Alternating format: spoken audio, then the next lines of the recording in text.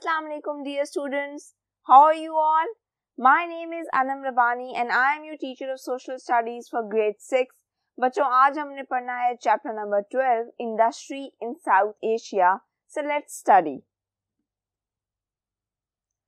तो बच्चों, सबसे पहले हम बात कर लेते हैं इंडिया की biggest South Asian country in terms of area and population तो इंडिया है सबसे बड़ी South Asian country in terms of area यानी कि एरिया बहुत ज़्यादा है इंडिया का, सबसे ज़्यादा in South Asian countries and then population आबादी भी बहुत ज़्यादा है। ऑब्वियसली क्योंकि एरिया ज़्यादा है, इसलिए वहाँ पे आबादी भी ज़्यादा है, लेकिन कुछ कंट्रीज़ ऐसी भी हैं जिनका एरिया ज़्यादा है, लेकिन पॉपुलेशन ज़्यादा नहीं है। ऐसा क्यों होता है? ऐसा इसलिए होता है क्योंकि कभी कभी अगर आपकी कंट्री का एरिया ज़्यादा भी है तो कुछ जगह ऐसी होती हैं कि वहाँ पे रहा नहीं जा सकता। वहाँ पे या तो बहुत ज़्यादा गर्मी होती है या बहुत ज़्यादा सर्दी होती है, जिसकी वजह से वहाँ पे रहना बहुत मुश्किल होता है। लेकिन क्योंकि इंडिया का क्लाइमेट फेवरेबल है, वहाँ पे रहा जा सकता है, इसलिए वहाँ की पॉपुलेशन भी बहुत ज़्यादा है। Large economy and strong industrial base, इसके अलावा इनकी इकोनॉमी स्ट्रॉन्ग है।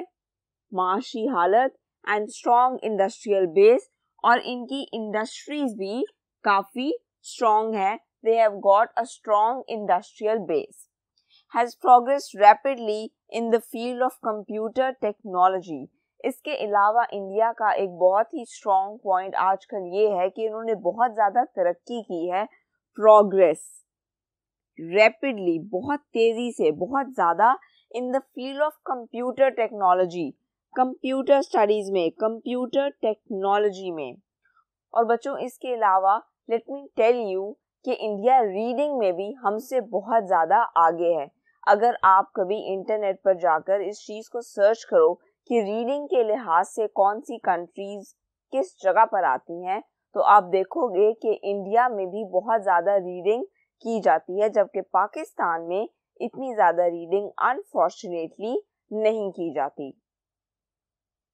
40% of India's workforce is employed in industry, while 60% is in agriculture.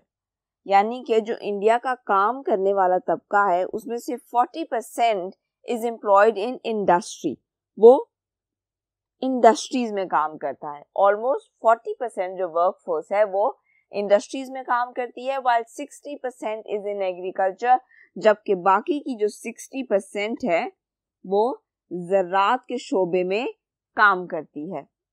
The history and the natural scenic beauty यानी कि इसकी तारीख हिस्ट्री जो कि ऑब्वियसली हमसे भी जुड़ी हुई है, क्योंकि पहले इंडिया और पाकिस्तान देवर टुगेदर बाद में हम अलग हुए और इससे पहले की भी हमारी काफ़ी तारीख है, जो कि बहुत ही इंटरेस्टिंग है। And the natural scenic beauty यानी कि वहाँ की जो नेचुरल ब्यूटी है कुदरती खूबसूरती। Of the country attract a large number of tourist every year ये दोनों चीज़ें बहुत ज़्यादा टूरिज़्म कॉज करती हैं, यानी कि बहुत से टूरिस्ट आते हैं स्याह आते हैं यहाँ पे सैरो सियाहत के लिए। क्योंकि यहाँ पे बहुत सी नेचुरल ब्यूटी है नेचुरल सीनिक ब्यूटी है, बहुत से पहाड़, बहुत सी खूबसूरती है, जंगलात मौजूद हैं। इसीलिए बहुत से लोग यहाँ पर आते हैं घूमने फिरने इसके अलावा इंडिया का कल्चर काफ़ी रिच है। जैसे कि हम पाकिस्तान में इस चीज़ को सेलिब्रेट करते हैं, अपने ड्रेसेस को सेलिब्रेट करते हैं, अपने नॉर्म्स एंड ट्रेडिशंस इवेंट्स को सेलिब्रेट करते हैं। बिल्कुल इसी तरह इंडियंस भी अपनी इन चीज़ों को सेलिब्रेट करते हैं। India imports oil and gas for domestic and industrial use अब इंडिया इम्पोर्ट कौन सी चीज़ें करता है? Oil and gas for domestic and industrial use domestic हम कहते हैं जो चीज़ घरों में यूज़ की जाती है एंड इंडस्ट्रियल यूज़ जो इंडस्ट्री में यूज़ की जाती है तो इंडिया इम्पोर्ट करता है ऑयल और गैस डोमेस्टिक यूज़ के लिए भी और इंडस्ट्रियल यूज़ के लिए भी.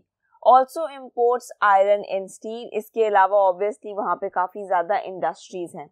हमने लेक्चर के बिल्कुल शुरू में पढ़ा था कि इंडिया की स्ट्रॉन्ग इंडस्ट्रियल बेस है यानी कि वहाँ पे बहुत सी इंडस्ट्रीज़ हैं। तो जहाँ पे भी इंडस्ट्री ज़्यादा होगी, वहाँ पे स्टील और आयरन का यूज़ ऑटोमेटिकली ज़्यादा होगा। क्योंकि ऑब्वियसली आपकी इंडस्ट्री में जो बड़े बड़े स्ट्रक्चर्स होते हैं मशीन्स होती हैं, वो आयरन और स्टील से बनी हुई होती हैं। इसीलिए इंडिया में भी आयरन और स्टील का यूज़ काफ़ी ज़्यादा है और उनको इम्पोर्ट करना पड़ता है आयरन एंड स्टील और इसके अलावा gem stones gem stones use करते हैं Indians in jewellery so gem stones एक और इम्पोर्ट्स जो कि उन्हें दूसरे मुल्कों से मंगवानी पड़ती है। Now let's talk about Bhutan Bhutan का मैप आप इस वक्त अपनी स्क्रीन पर देख सकते हो if you want to know where exactly this country is self sufficient in its agricultural output self sufficient होने का क्या मतलब होता है? सेल्फ सफिशेंट हम उस शख्स को या उस कंट्री को कहते हैं जो किसी दूसरे पर डिपेंड नहीं करता। यानी कि आपको किसी दूसरे की ज़रूरत नहीं पड़ती कोई चीज़ हासिल करने के लिए। So self sufficient in its agricultural output तो भूटान की जो एग्रीकल्चरल आउटपुट है, यानी कि एग्रीकल्चर से रिलेटेड जो इनकी चीज़ें हैं, उसमें ये सेल्फ सफिशिएंट है। इन्हें ये चीज़ें इंपोर्ट नहीं करनी पड़ती, दूसरे मुल्कों से मंगवानी नहीं पड़ती। And Bhutan is a very small country इसीलिए इसकी इकोनॉमी भी स्मॉल है। Industry is based mainly on export of electricity timber calcium carbide and cement इसके अलावा ये एक्सपोर्ट करते हैं timber calcium carbide and cement और ये चीज़ इनकी इकोनॉमी को काफ़ी स्ट्रॉन्ग करती है। Import consist mostly of fuel and machinery हमने एक्सपोर्ट्स की बात की तो ये इम्पोर्ट क्या करते हैं? Fuel and machinery natural scenic beauty of Bhutan invites visitors हमने पहले इंडिया के बारे में पढ़ा था कि वहाँ की जो नेचुरल सीनिक ब्यूटी है और उसकी जो हिस्ट्री है, उसकी वजह से वहाँ पे काफ़ी ज़्यादा टूरिज़्म है। तो अब अगर हम भूटान की बात करें तो यहाँ पे भी बहुत सी नेचुरल सीनिक ब्यूटी है, बहुत सी कुदरती खूबसूरती है, जिसकी वजह से यहाँ पे भी काफ़ी ज़्यादा टूरिज़्म होता है।